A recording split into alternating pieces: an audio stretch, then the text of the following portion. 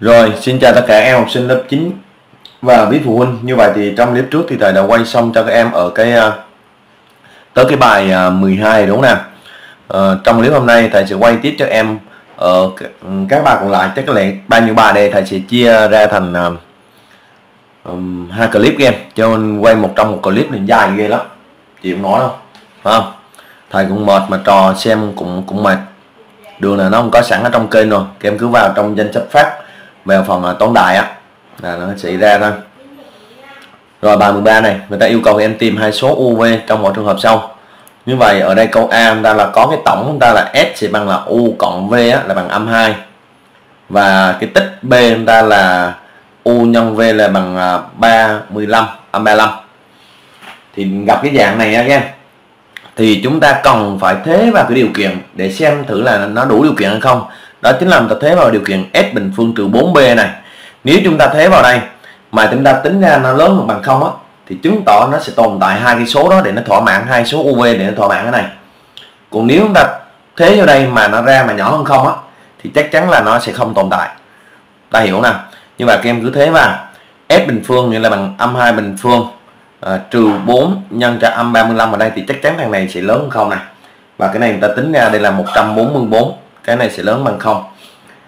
Được chưa? Khi đó à, chúng ta chắc chắn là sẽ tồn tại hai hai cái số này. Khi đó chúng ta nhớ phương trình này. S bình phương trừ s gì? Sx cộng cho b bằng không này. Chúng ta thế vào cái này này. Thế s và b vào hai chỗ này. Như vậy nó ra được cái phương trình là s bình phương à, trừ ở đây là s ở đây là trừ hai thế ở đây là bản thân ở đây nó có dấu trừ nữa. Trừ với trừ thì nó sẽ là thành cộng 2x được nào cộng cho b. Nên là âm ở đây cho 35 à, bằng 0 được chưa? Như vậy nó ra phương trình này thì chúng ta dùng máy tính vào túi à, để chúng ta bấm. Thì nó ra hai nghiệm thì hai nghiệm đó đó chính là hai cái số nó cần tìm. Hiểu không? Như vậy menu 922 ra được là 1 2 âm 35 5 với lại âm 7 như vậy hai số cần tìm đây chính là 5 với lại là âm 7 ví dụ chúng ta có thể kết luận cái này đó chính là u nếu mà u bằng 5 thì v sẽ bằng âm 7 hoặc à, trường hợp ngược lại à, u sẽ bằng âm 7 thì v sẽ bằng 5 vậy thôi. Còn không chúng ta kết luận là hai số cần tìm là chính là 5 và âm 7 còn nếu chúng ta kết luận ra u với v á ha à, uv thì trường hợp thứ nhất là u bằng 5 v bằng âm 7 còn trường hợp thứ hai là u bằng âm 7 và v bằng 5 nghĩa là đảo ngược lộn ngược trở lại. Ok. Rồi.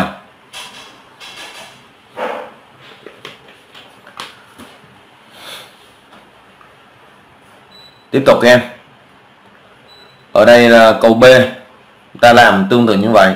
Như vậy S ta là bằng U cộng V là bằng 8 và B chúng ta là bằng ờ, U nhân V là bằng âm 105 thì chúng ta thế nên là S bình phương à, trừ cho 4B sẽ bằng là 8 bình phương trừ ở đây cho 4 nhân ở đây trừ 105 thì chắc chắn thằng này cũng sẽ là là nhắm không nói thì bấm máy tính thôi em menu 1 ở đây. Ra được ở đây 8 bình phương.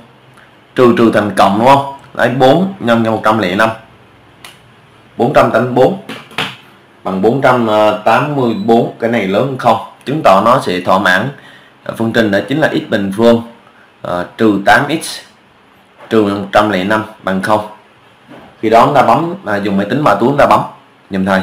Menu 922 1 trừ 8 trừ 105 như vậy một số đầu tiên cái số đầu tiên ta cần tìm là chính là số 15 và số thứ hai là âm 7 như vậy hai số cần tìm đây chính là 15 và âm 7 đó 15 và âm 7 nghĩa là ở đây chúng ta sẽ có là gì? À, U thì bằng 15 thì V sẽ bằng âm 7 hoặc cái trường hợp ngược trở lại uh, U chúng ta sẽ bằng âm 7 thì V chúng ta sẽ bằng là 15 nó có hai cách kết luận. Cách thứ nhất chúng ta có thể kết luận như này và cách thứ hai chúng ta có thể kết luận như thế này. Đều được. Hiểu chưa? Đó. ta muốn kết luận kiểu nào cũng được. Giáo viên à, thích kết luận kiểu nào thì chúng ta kết luận theo kiểu đó nha.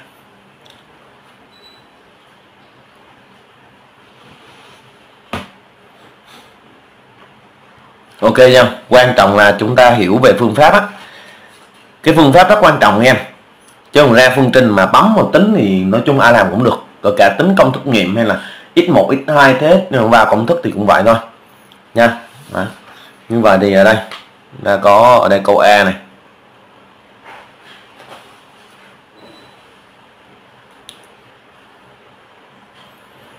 Câu A em.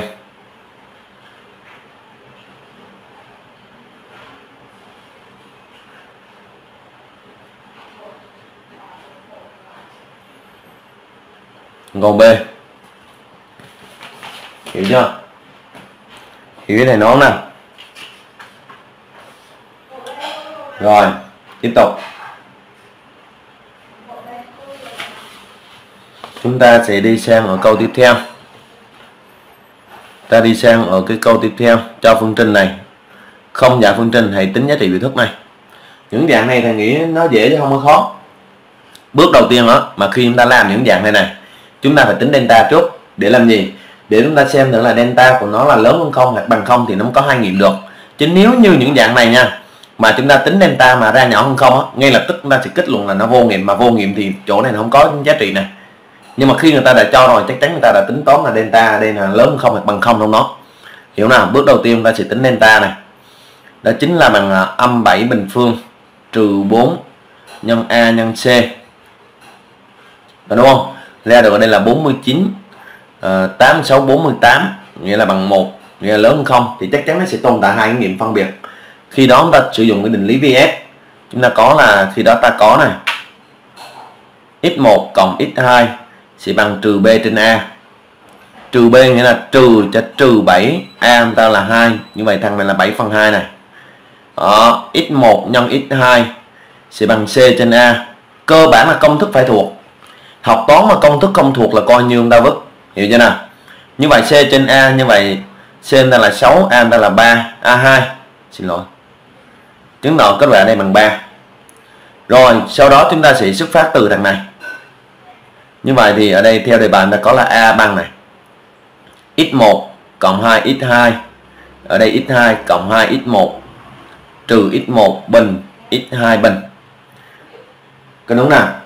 Thì cái thằng x1 bình x2 bình á, thì nó dễ rồi thằng này thì chúng ta lòng vô tại vì chúng ta có công thức này. A bình phương nhân b bình phương thì chúng ta có thể lòng vô trở thành là ab bình phương. Tại vì nó có cùng mũ hai này thì thằng chúng ta lòng vô thôi. Còn thằng này chúng ta nhân đa thức với đa thức. Như vậy a này sẽ bằng này. Ta lấy x1 đây này. Ta lấy x1 nhân vào đây nhân vào đây trước. Như vậy chúng ta lấy x1 nhân x2 rồi tiếp tục cộng 2 x1 bình phương. Ok. Có đúng không? Tiếp tục. Chúng ta lại lấy 2 x2 này nhân vào đây và nhân vào đây. Như vậy chúng ta lấy 2 x2 nhân x2 thì cộng cho 2 x2 bình phương.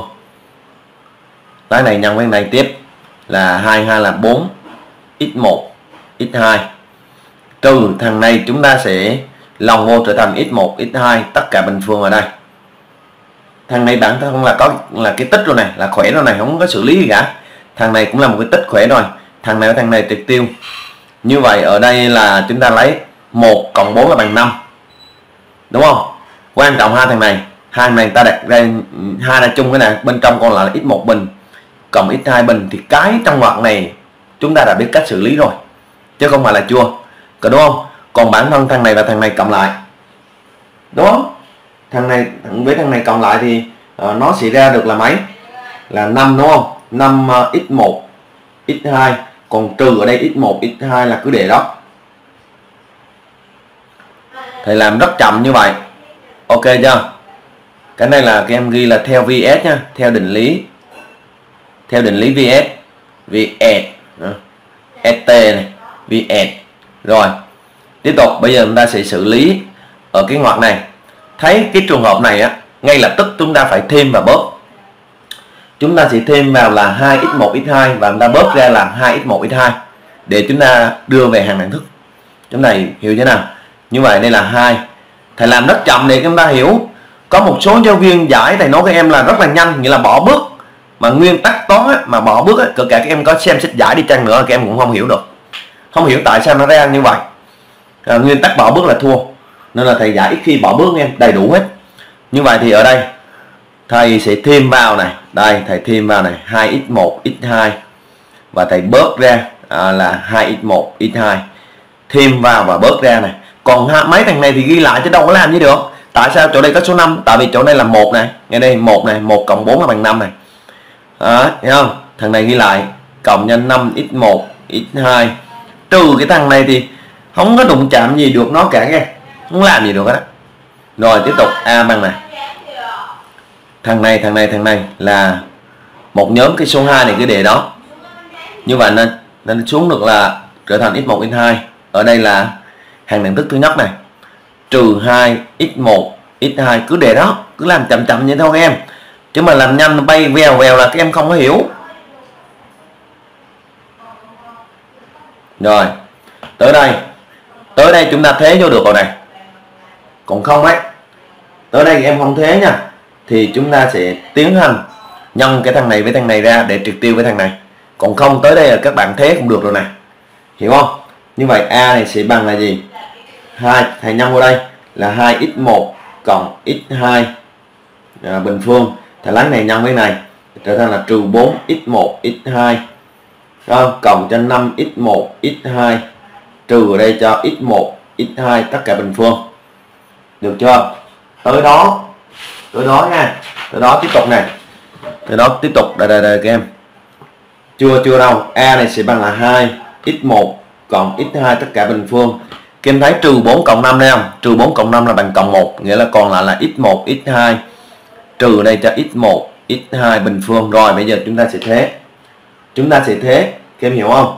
Như vậy các em sẽ thay. Dạ. Yeah. x1 cộng x2 hồi nãy phía trên chúng ta tính là bằng à, 7 phần 2 và x1 x2 à, bằng hồi nãy bằng mấy? Bằng 3 đúng không? Ở đây ta ký hiệu là một đi. Vào một. Ta được. Đó. Làm cái bài mình nó rất là chặt chẽ như vậy. Như vậy khi đó chúng ta được a ở đây sẽ bằng là gì? À, 2 x1 cộng x2 bình phương nè như vậy nó ra được là 7 phần 2 ở đây là bình phương. Đúng không? Uh, cộng x1 x2 ở đây là 3 và trừ đây cho gì? 3 bình phương. Có hiểu không? Nhưng mà kết quả ở đây sẽ bằng. Chúng ta có thể sử dụng máy tính và túi chúng ta bấm. Menu 1 trở lại màn hình này. Ta lấy 2 nhân vào đây mở ngoặc ra. Ờ, à, 7 phần 2 thầy bấm đúng như vậy để chúng ta thấy luôn bình phương này. Cộng đây cho 3 trừ đây cho 3 bình phương. Đúng chưa? Đúng biểu biểu thức như vậy chưa?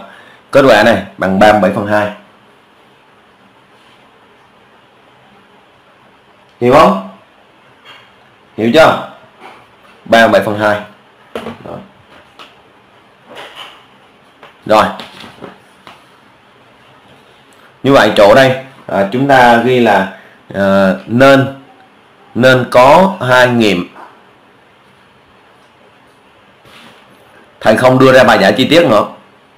Phân biệt x1 x2 nha đầu tiên chúng ta sẽ tính delta ở đây chúng ta ghi ta có tính delta này. Đó, chúng ta ghi này, cái đoạn này. Làm rất chậm như vậy.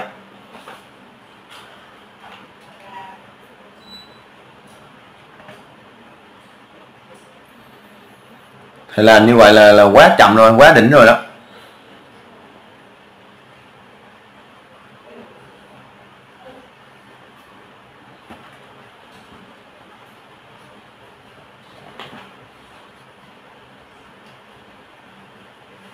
Hiểu chưa? Ta nếu mà ấy kết luận là vậy. Ở đây là a ở đây sẽ bằng là 37 phần 2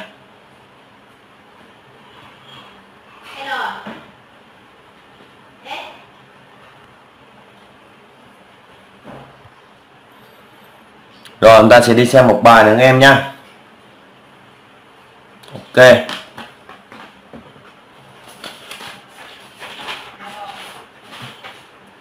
Được không? Giờ đây là đi qua các cái bài à, giải bài toán cách lập phương trình này Bài 15 Đây là một bài toán à, chuyển động Vận tốc quãng đường thời gian. Thì đa số thì người ta sẽ hỏi là hỏi vận tốc. Phương trình lập thì sẽ theo thời gian. Quãng đường là như nhau. Ờ, gần như là như vậy. Nhớ là những cái dạng này là quãng đường là như nhau vận tốc là cái người ta sẽ sẽ hỏi và chúng ta sẽ gọi cái vận tốc. Và cái thời gian là cái để chúng ta đi lập phương trình đó. Nhớ là như vậy. Rồi, một ok, một người đi xe đạp từ A đến B. Đây. Từ A cho tới B, ở đây cách là 24 km đi xe đạp mà 24 cây là nghe cũng đuối em. Đạp cũng rớt cái chân nghĩa là những vận động viên mà à, đạp thể dục của các kiểu thì được. Chứ mà người bình thường, nhiều học sinh mà đạp 24 cây là cũng đuối khi từ đi từ B trở về nhờ xuôi gió nên tốc độ lúc về nhanh hơn lúc đi là 4 km. Như vậy nếu như chúng ta gọi vận tốc V là lúc đi là bằng x km. Trên giờ thì khi đó lúc về lúc về là do là có cái sự hỗ trợ của gió đẩy đằng sau lưng nên anh đạp, đạp rất là nhanh. Anh đạp hơn cái lúc đi là à, 4 km trên giờ. Như vậy nghĩa là x này nó sẽ cộng mấy hơn nghĩa là nó sẽ cộng cộng 4 km trên giờ chúng ta hiểu chưa à, vì thế thời gian về ít hơn thời gian đi là 30 phút. Như vậy thì 30 phút sẽ bằng ở đây là 30 phần 60 là bằng 1 phần 2 giờ. Có đúng không? 1 phần 2 giờ. Như vậy chứng tỏ chúng ta sẽ lập phương trình dựa vào cái câu này. Thời gian về ít hơn thời gian đi là 30 phút. Như vậy bây giờ chúng ta sẽ đi tính trong thầy cái thời gian đi. Bằng. Và cái thằng này là đi tính thời gian về bằng. Như vậy, thời gian thời gian thì bằng quãng đường chia cho vận tốc đi. Quãng đường thì như nhau, đi từ A tới B và từ B tới A thì nó vẫn là 24 km, chứ nó không thay đổi. Riêng quãng đường là cố định, không đổi. Các hiểu không? Như vậy thì ở đây nó sẽ là 24 chia cho x. Có đúng không? Còn cái thời gian về thì s quãng đường chia cho vận tốc về như vậy nó bằng 24 chia cho x cộng cộng 4 rồi, bây giờ có thời gian đi, thời gian về rồi. Bây giờ thầy đọc lại câu này là chúng ta sẽ tiến hành lập phương trình này. Vì thế thời gian về về này, ít hơn. Ít hơn thời gian đi là 30 phút, nghĩa là sao này? Ừ? nghĩa là cái thời cái thời gian đi, nó sẽ bằng thời gian về cộng ở đây cho 30 phút. Thế chứ nữa chúng ta đọc thôi vì thế thời gian về này, ít hơn thời gian đi là 30 phút. Hay nói cách khác là thời gian về đây sẽ cộng thêm 30 thì bằng thời gian đi. Còn không làm ra nếu em không không thích như này thì em có thể à, thời gian về. Có phải thời gian đi ít hơn thì trừ đi thằng 30 phút này ra cũng được. Kiểu nào cũng được đó chúng ta có thể à, lập luận theo kiểu này cũng thuận mà lập luận theo kiểu này cũng thuận. Nghĩa là gì? Bây giờ chúng ta sẽ lấy thời gian đi trừ cho thời gian về thì bằng bao nhiêu? Bằng 30 phút, nghĩa là bằng 1 phần 2 giờ. Thì thời gian đi chúng ta là, ở đây là 24 phần phần x trừ cho 24 phần x cộng 4 thì thằng này là bằng 1 phần 2 giờ. Chúng ta sẽ giải lại phương trình này là chúng ta sẽ tìm được x này. Hiểu không? Rồi bây giờ giải này thì quá dễ. Giải này thằng nghĩ là ai giải cũng được. Ok, thầy giải phía bên kia góc này nha bây giờ chúng ta quy đông này mẫu chung ta là 2 nhân x nhân cho x cộng 4 đúng không? Như vậy chúng ta cái mẫu cái mẫu thức chung của chúng ta đó chính là 2x nhân cho x cộng 4 này chúng ta lấy mẫu này chia lần lượt cho ba cái cái mẫu này. Đây một à, trừ mẫu số thứ hai. Chúng ta giải giống chương trình lớp 8 chúng ta đặt hôm này cái mẫu thức chung ở đây 2x nhân x cộng 4 này ở đây cũng là 2x nhân x cộng 4 này và chỗ này cũng sẽ là 2x nhân cho x cộng 4 này. Ok. Như vậy chỗ này là 24 nhân. À, 24 nhân và đây là một nhân đúng không? Chúng ta lấy cái mẫu này chúng ta chia cho x thì nó ra được là 2 còn lại là 2 nhân cho x cộng 4 này ta lấy cái mẫu này chúng ta chia x cộng 4 thì nó ra được ở đây là 2x này và chúng ta lấy cái mẫu này chia cho 2 thì nó ra được ở đây là x nhân cho x cộng 4 khi cùng mẫu rồi chúng ta khử mẫu đi. Chúng ta sẽ lấy 24 nhân cho 2 ở đây sẽ bằng 48 x cộng 4 này. Thầy làm rất chậm nha. Ở đây là cũng là 48 x này. Đúng không? Ờ, và ở đây sẽ bằng ở đây là x bình cộng cho 4x tại chúng ta lấy thằng này nhau đây lấy này nhau đây chứ nhân một thì khỏi cần nhân rồi. Ở đây là 48x cộng. Thì lấy 48 mà nhân cho 4 2 192 đúng không? Trừ cho 48x sẽ bằng x bình phương cộng cho 4x như vậy 48x trừ 48 x hết, chuyển cái thằng này qua bên đây đổi dấu thì nó ra được cái phương trình đó chính là x bình phương cộng 4x trừ cho 192 bằng 0 chúng ta dùng máy tính bỏ túi, chúng ta giải này, phương trình này ra là nó là ok. Menu 922 bấm 1 4 âm 192 đây 12 này. Âm 16 thì loại rồi âm 16 loại. Như vậy thì cái vận tốc lúc đi nó sẽ là 12 km trên giờ. Còn lúc về thì nó sẽ là bao nhiêu? Nếu giáo viên có thể uh, hỏi thêm như vậy thì vận tốc lúc về nó sẽ là 12 cộng 4 nên là nó sẽ là 16 km trên giờ. Nhớ chưa? Ừ, đối với cái bài mà à, uh, quãng đường vận tốc thời gian chúng ta liên kết các điều kiện mà chúng ta kết hợp với công thức đó chính là thời gian sẽ bằng quãng đường chia cho vận tốc quãng đường thì như nhau, còn vận tốc và thời gian là hai cái đơn vị tỷ lệ nghịch với nhau em nhé nghĩa là vận tốc mà tăng thì thời gian sẽ giảm và ngược lại. Vậy thôi. Ok chưa? Quan trọng ta phải đọc được cái câu chốt để chúng ta lập được cái phương trình cái câu đó mới là cái câu quan trọng. Là dựa vào cái gì để lập phương trình? Cái đấy là cực kỳ quan trọng em nha. Again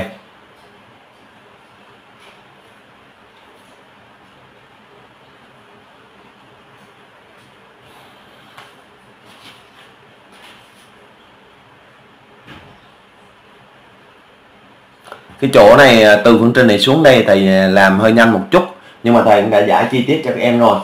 Cái đúng nè.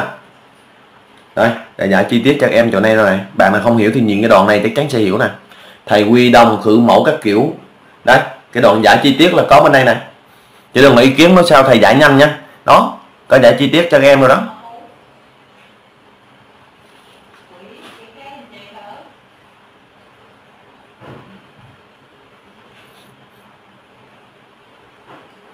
Rồi ok. Như vậy clip hôm nay tới đây là kết thúc em nha trong clip sau thầy sẽ quay cho em ba bài còn lại nữa là xong phần bài tập cuối chương. Chương 6 chúc em học tốt. Ở ba em nha. Ok. Rồi xin chào các em. Các em uh, ủng hộ cái kênh của uh, thầy Quang cho thầy nha. Và đây là cái clip nấu ăn của cô Hòa. Đó ok ok ok ok, okay. Hòa Lan đẹp em. Đấy, đẹp luôn Chà.